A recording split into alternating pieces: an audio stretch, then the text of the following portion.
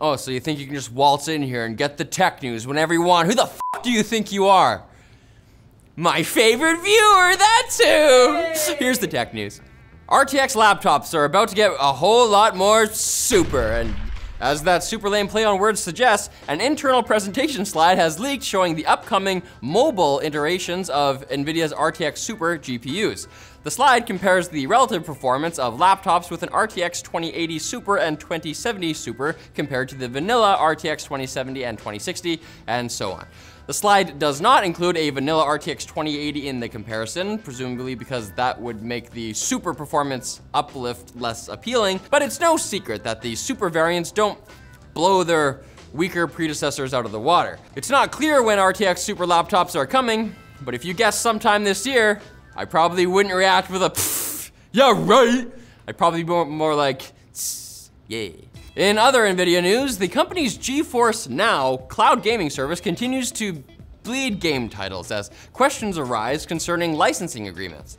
The latest developer to pull their games is Hinterland, an indie studio known for making The Long Dark. Game director Raphael van Lierop he tweeted that NVIDIA didn't ask permission to put the game on GeForce Now, so Hinterland asked for it to be removed. The situation has brought up questions about the nature of cloud gaming services like GeForce Now, which allows users to play games they already own on other platforms using cloud hardware provided by NVIDIA. Should developers get another kickback when people play their game which they already bought on NVIDIA's hardware? Do I have to pay extra to play my copy of Halo on my buddy's Xbox? Even though I'm only doing it because he doesn't have it? Really, he should be paying me. we should be paying you. You should be paying Where's the money, buddy? The buck stops here. And canceled events watch continues with the latest victim being Google's I.O. developer conference.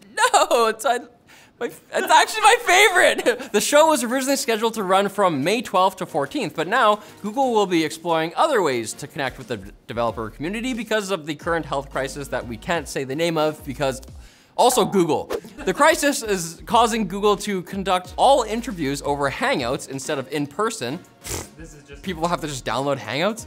Oh, no. and many other companies are being cautious as well. NVIDIA is hosting its GPU Technology Conference as an online event now, and a number of high profile attendees have been canceling their plans to attend South by Southwest that event may be canceled as well. Even movies are being delayed with the upcoming Bond film, No Time to Die, moving its release date from April to November. Oh my God, David's gonna lose it. There's not much to say here, except that we hope things get under control soon. And also, wash your damn hands. Stop shaking hands. Yeah, jeez. We don't need to be meeting people all the time, you know? Just how about a, hey. What are those? Hey, across the room. yes, see you later. Now it's time for the quick. Ominous Deus! it's enough. These quick bits are brought to you by Private Internet Access. The VPN with over 3,000 servers in 32 countries. You can't even travel that many countries. You can pretend you're there with PIA. PIA lets you mask your IP address and encrypts traffic to and from your devices. When combined with private browsing, you can make websites think you're in a different country. Ha! Joke's on them! PIA has configurable encryption and an internet kill switch so you can stay in control of your connection. Trying PIA is risk-free with their seven-day money-back guarantee. They've got clients for Windows, macOS, Android, iOS, and Linux with support for up to five devices at the same dang old time. So check them out right now at the link below.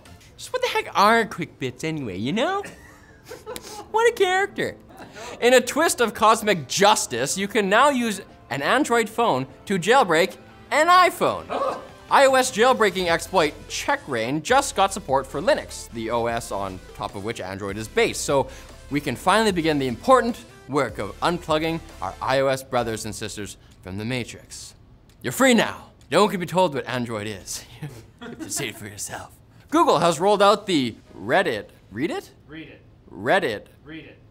Read it feature for Google Assistant. So you can now ask it to read it or read this page, and the assistant will read it aloud for you. And it'll even translate it into 42 different languages. But you don't speak that many languages, right? Once again, I don't have a joke about this, I just think it's really cool.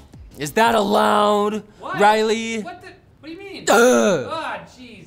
You're such a disease. ARM processors just took a big step toward nabbing some of the server market away from x86 with Ampere's announcement of its Altra 80, that's Altra with an A. Yep. Altra 80 core ARM chips, which are now rolling out in both single and dual socket systems. This isn't to be confused with NVIDIA's Ampere graphics architecture. I mean, there's only so many dead physicists, I guess. Tesla's taken, so There's a lot of words, guys. Use other words. a couple more. Samsung just put bendable glass on the Galaxy Z Flip, and now scientists in Australia have developed a process for making bendable concrete. Uh, hmm. Pretty cool. Uh, my question is, when will it stop? Because if everything in the world becomes bendable, actually that'd be pretty awesome. Trampolines everywhere. You're a trampoline.